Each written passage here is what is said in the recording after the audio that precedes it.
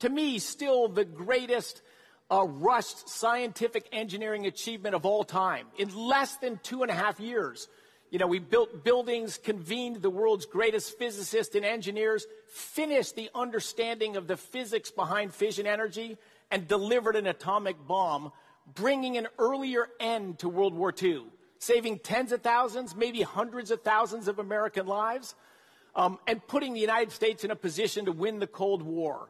That's the spirit that founded our national labs. At Los Alamos Labs, Oak Ridge Lab, Sandia soon after the war, um, and then this growing network of labs. As I visit those labs, you know, it is an incredible concentration of scientific and engineering talent. The largest producers of Nobel Prizes in the physical sciences on the planet.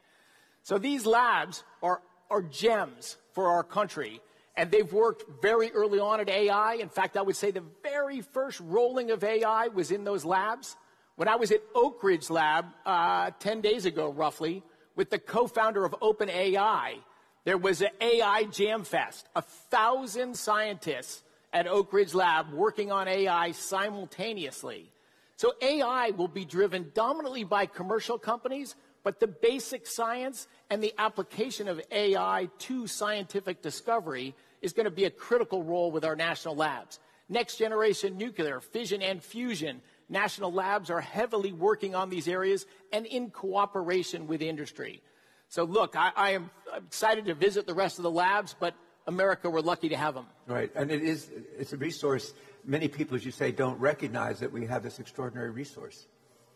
Extraordinary resource. Yeah.